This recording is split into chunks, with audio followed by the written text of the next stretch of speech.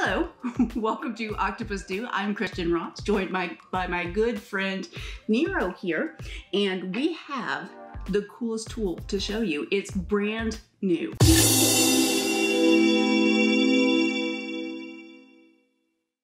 There are actually two of these here, uh, two different sizes. We have the small one and the large one. What is it? This is the Weaving Goddess Weaving Loom from Julianna Avelar. And it is the newest in her line of weaving looms for jewelry making, but this large one can do textiles. So uh, wall hangings, decorations. Um, I made a scarf on it, which I'm going to show you how to do that. That's today's project is how to make this scarf. But the smaller one also works for jewelry just like you know and love. Like I made this really cool bracelet on the small one. Love these things. Take a look at these.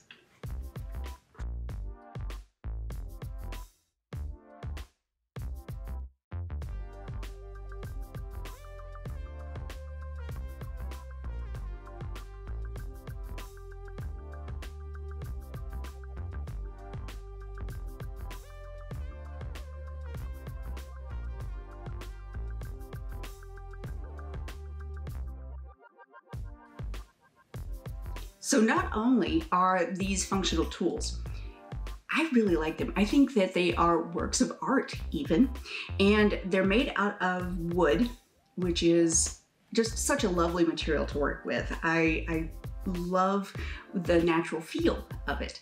Uh, this design is Julianna's signature goddess design that she's had forever, and uh, I really like the way it fits in your hand and it's a beautiful piece of art, as I said.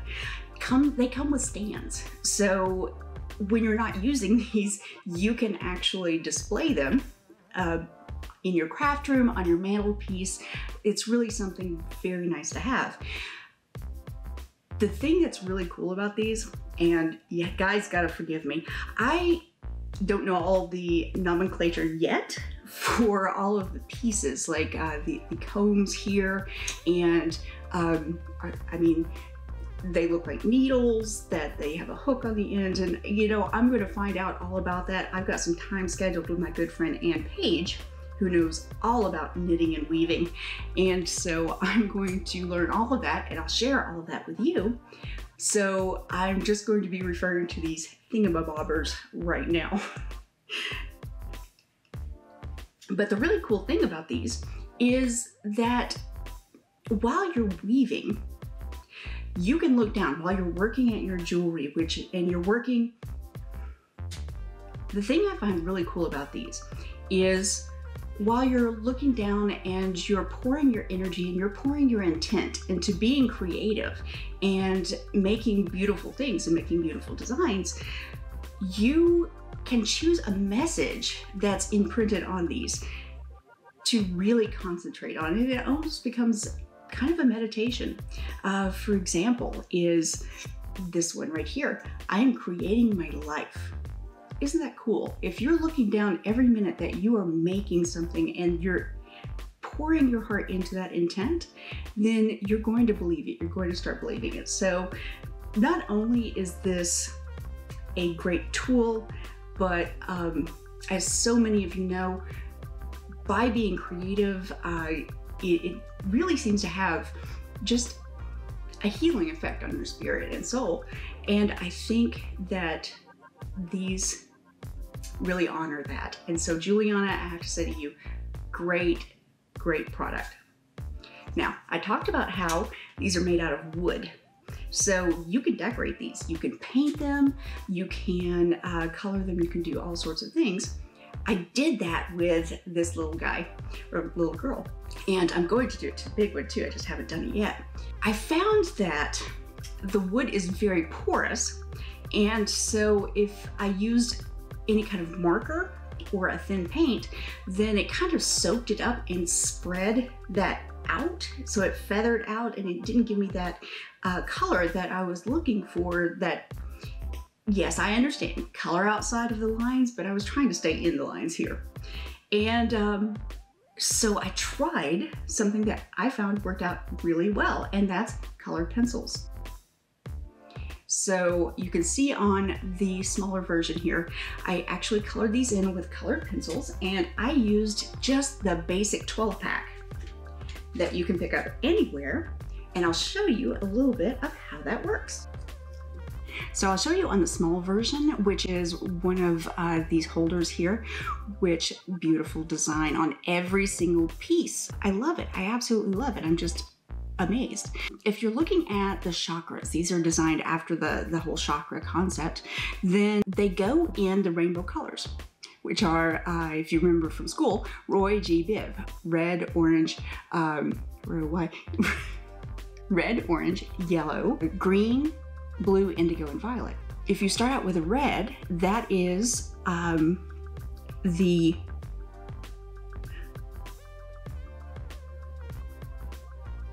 if you start out with red, then that is this first chakra point, which is right above the flower at the bottom. So I've got my red pencil and I just color it as you would just really anything, a coloring book. And the harder you press down or the more times you go over an area gives you a darker result. So I'll show you what this guy looks like at first, and then I'll give him some color.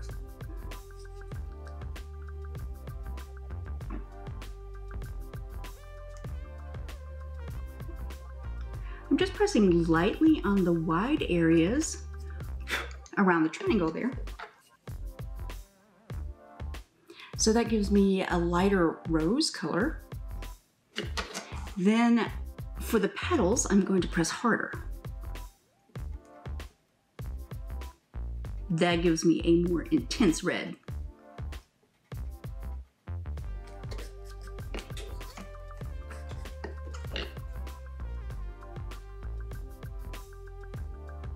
And it's as easy as that. So you can choose to add color to these any way that you like. They're really a beautiful design, so have fun embellishing it as well as working with it. Definitely. So I promised you a project. I'm going to show you how I use the large goddess loom to make a long scarf. So let's get started on that. Just had to get a little bit organized there, so I'm set up here, ready to show you how to make a scarf. The yarn that I'm using for this is a velvet yarn, and I will send the link to that below.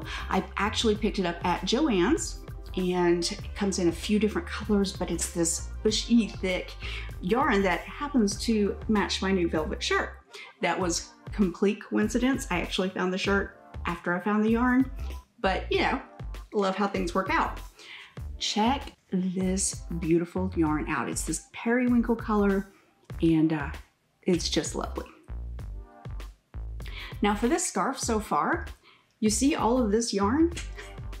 this was a full skein. I haven't even used more than that. That I've used maybe half of this skein and it is a 10 ounce skein. So you could probably get two or more or make a really long scarf or go wider than I did on my project. But um, so far, I don't think I've even used half of this. And the scarf I have I'll measure it here in a little bit, but so far, it's pretty big. I had to look up online how long to make scarves and everyone says, of course, different things. And the real answer is however long you'd like to make them. But um, one standard measurement that I was told is the stretch of your arms all the way across. So I almost have that which if I have that going, it's going to be about 60 inches. So pretty cool. A lot of yarn here. I'll show you the weave close up for the result, and then I'll show you how to make it. Look at that.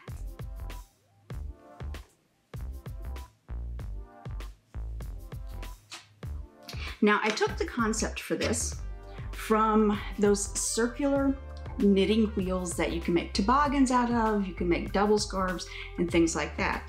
It's a wheel that has all these pegs sticking up that you loop around and then you pull the yarn over the loop that you made and you just keep going around in a circle. Well, the thing about this guy, or why do I call my tools guys? The thing about the large weaving goddess is it's not circular, it's a straight line and there's no hole for the finished product to go down through it as if it were one of those circular knitters. So what I did is I ended up knitting along a straight line and then I make a turn and I go back the other direction. So it makes it very easy. And then it's only one ply because if you were doing the circular knitters, then this would end up being a tube. So this being one ply, of course, you also get more bang for your buck as far as your yarn is concerned. You're only going across once and that's your width and you're not doubling back over and using double the yarn. If you want a big, thick, heavy winter scarf, then those are great for that. I like this because it is more airy and it's kind of a fashion scarf, but it's um, I, I, just love the way it turns out. And you know, sometimes you don't need the big heavy ones. This is pretty like it is. Anyway, I talk a lot. Let's get started on this project. I'm gonna move these guys out of the way, these girls out of the way, and um, because I don't wanna knock them over, and we'll get started. For this project, I only need to use one end of the loom. You see my scarf is still attached on this side because I'm going to show you how to finish it off, but I'm going to show you how to start on this side. The first thing that I did is because I wanted to use larger yarn with a bigger hole, a bigger weave on this, then the pegs on the end, I'm wrapping one loop of yarn around two pegs. And so what I did is I came back through and I colored in, this time with a marker because I wanted to go all the way across the peg. I wasn't trying to get in any specific lines and I wanted the color to be darker so I could see it. And I colored two pegs and then left two blank and then two and then left two blank. And that gives me a visual clue of what I'm wrapping around and I don't miss anything and just do one set of two is one loop. So that's why these are colored, just my own visual clue. It's still cool, it's still pretty. I can't wait till I get this whole thing colored. Okay, so to get started on this, I just have a bit of the yarn that I've taken off the skein. And I'll show you how I make that first loop. It's kind of a, um, a sliding knot um, or sliding loop. Anyway, so you take your little bit of yarn and you just make a loop like so. Take the tail end, because you leave about three inches there, wrap that around that loop that you just made and pull it through where your thumb is. Like so, and tighten it up. So now you have this shape and this will slide. So I'll stick my thumb in here and I'll hold the tail just to show you how it slides. You pull on the main bulk of your yarn here, and that slides. So you have an adjustable loop. Now, one thing that I'm going to tell you when you're weaving, don't pull this really tight. This is not a strength test. First of all, you don't want to break the pegs off of your tool. And second of all, the harder you pull and the tighter you make the loops around these pegs, the harder it is going to be to move the yarn over where you need it to go. Now, I've got my loop and I'm going to put that over the first two pegs right here. I'm just sliding that over with the loop to the back side and this tail and the knots to the front. I'll tighten that up a little bit there. And again, there's some play, like if I hold this up, you can see daylight through there. So I'm not pulling it really tight. All right, I'm gonna get this tail out of my way, so I'll throw that down here and look, there's a groove, perfect for holding that down and out of the way. Now, I need to loop around all of these pegs. So what I do is I take this side that is toward the bulk, not my tail, like here's my little tail, and I've gone around these first two So I take this and I go down past, like you see the two that are not colored. I go down in between those two. I go around those two and back up. And I'll get close so you can see what I'm talking about.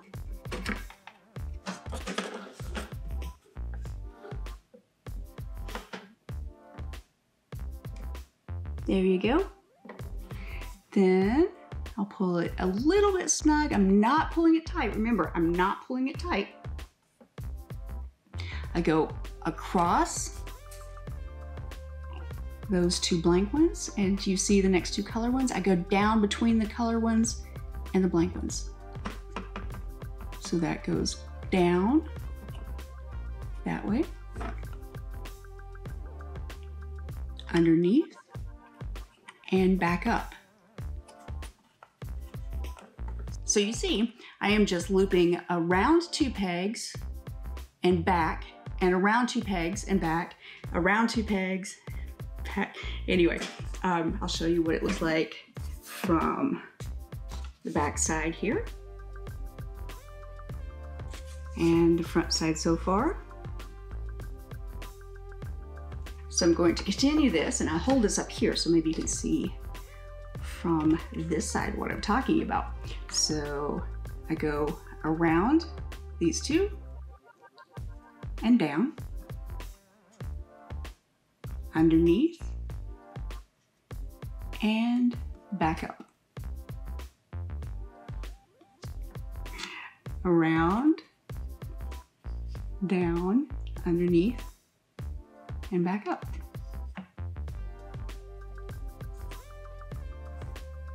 And every once in a while, I'll stop and make sure that all my loops are pushed down toward the goddess there because you don't want the loops coming off the end before they're supposed to.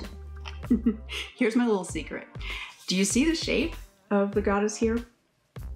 I absolutely love sitting on the couch with my feet on the ottoman, and then I hold the goddess up between my knees, right here, and it holds her at the perfect height for me to sit back, relax, and just loop. All right, so you're going down two and around, down two and around, that's easy, that easy. Go all the way across until you get to the end and I'll show you what to do next.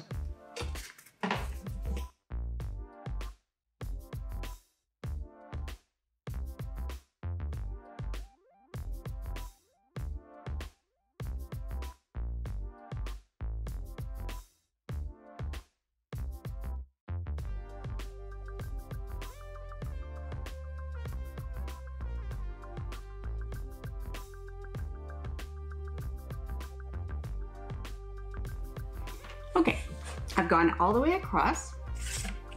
And one thing that you'll notice when you get to the other end, if you're going two by two by two, the very last end here has a single peg and then it has a wide point. I just stop before I get to those. So these two are going to remain empty the entire time just because this gives me an even number and I don't have to worry about finagling the end or worry about different sizes or anything like that. So I stopped here and I've gone around my last two pegs and have my bulk sitting up here. Now, what I do is I have to turn around and go the opposite direction. Oh, one reason why we have to go back in the other direction is before we can start uh, doing the knitting part, which is pulling the loops over each other, we need to have two rows. So this is considered the first row. Now we're going to make a second row. The loops are going to go in the same direction, so they're going to have the loop part in the front and the crossed over part toward you. The problem that you run into when you're going in the opposite direction is these first two. Because if I just go in the opposite direction, because you see, I've made this first loop here, and here's where my yarn comes out, if I were to just start going back in the other direction, this side would only have one loop on it, but you need two. So here's the little trick that I came up with, which is you're going to take you're going to take your yarn here. Let's see. You're going to twist it in this direction and fold that loop back over those last two, like so. And then pull that tight. So that gives you your second loop. So what you do is you take your yarn, you twist it so it crosses over each other uh, or over itself. Then you lay that loop that you twisted over those two. Then you go back the other direction. So when you're going back, go around the next two and down, then come up, next two, down, come up, and you just go back through that line.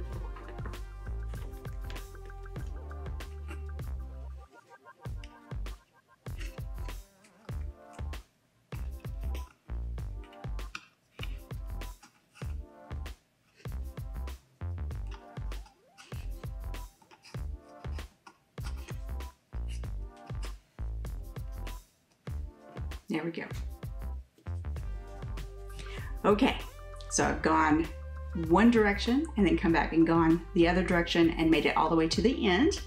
And so I'm going to take this end that is my bulk and I'm going to hook it into this last hook just like I did into this last slot, just like I did my little tail here.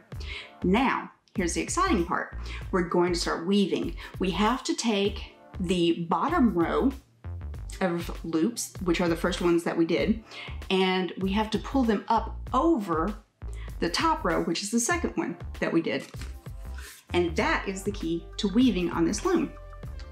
These wonderful little hooks that come in this kit I found are perfect for reaching in and grabbing that first row of loops and pulling it over the second.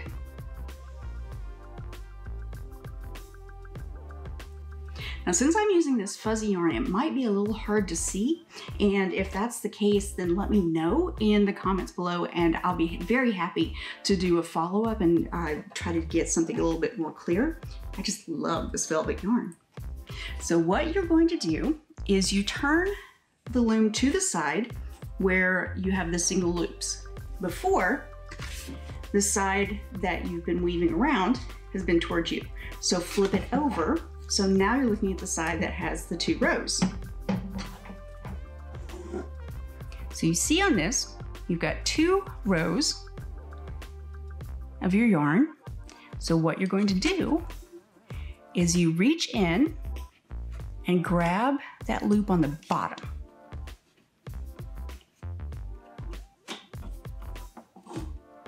Like so. And you see there's a little hook on the end of this lift it up and pull it over without pulling that first one off. You've got to pull it over that first loop. So if you need to, hold your loop from the back side, pull it up, over one peg, over both pegs, just like that. Okay, then you slide that down, make sure it goes back down. Then go to the second one and do the same thing. Grab it, and pull it over. And push it down. Grab it and pull it over.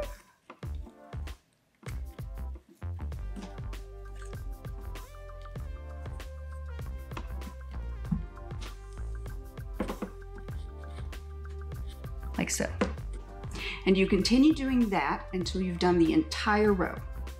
When you get through that, all you have to do then is turn around and put a second row of loops on top of the now single row that you have and continue. It's that easy. All right, push everything down. Now, don't be afraid. When you get to the other side, if you look at it and it looks a little wonky, it's okay. All you have to do is you just pull on it a little bit to straighten it out as you go. But it's really going to straighten out after about three or four rows because then you have the strip that you're going to be able to pull down and straighten out as you go. Show you what that looks like on the other side. There. So fast forward a little bit, um, a few days or know, a few hours, depending on how fast you weave, and your scarf looks something like this. So when it starts getting all bunched up here, I like how this part of the, the tool, the comb here, kind of keeps everything out of the way.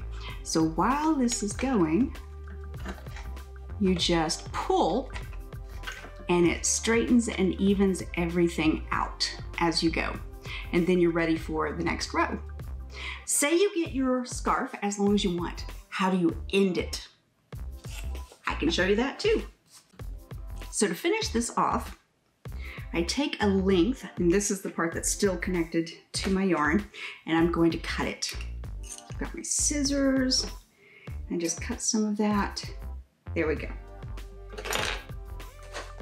Set that aside. All right, now I'm going to pull each loop off of the tool and I'm going to run the end of this through that loop and that's going to seal everything off. You know what? I'm really, I'm going to use this tool again as a needle this time. So I'll just thread this. There we go. And start pulling off my loops.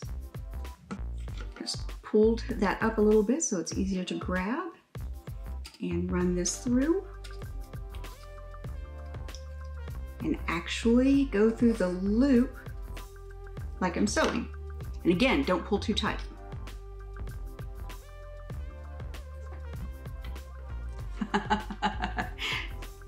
My friend Nero is going to help here.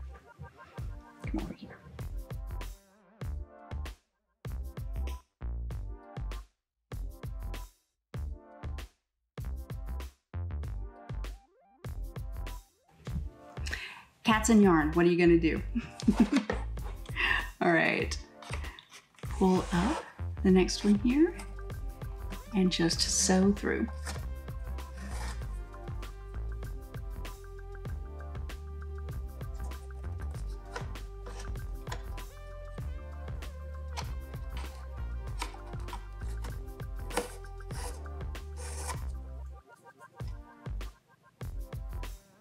And do that with all of the rest.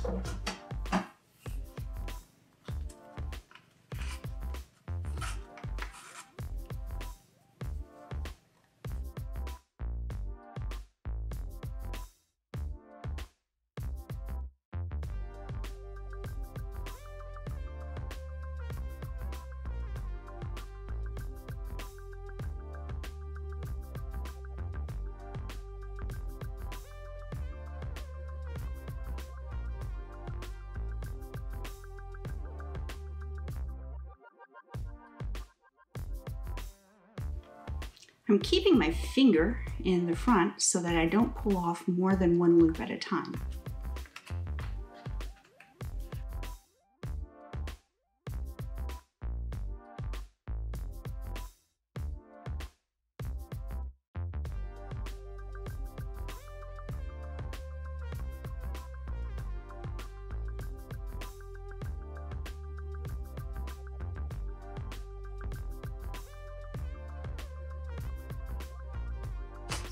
And the last one.